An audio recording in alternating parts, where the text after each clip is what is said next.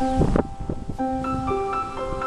baptême, elle est destinée aux enfants, aux adolescents, aux catéchumènes.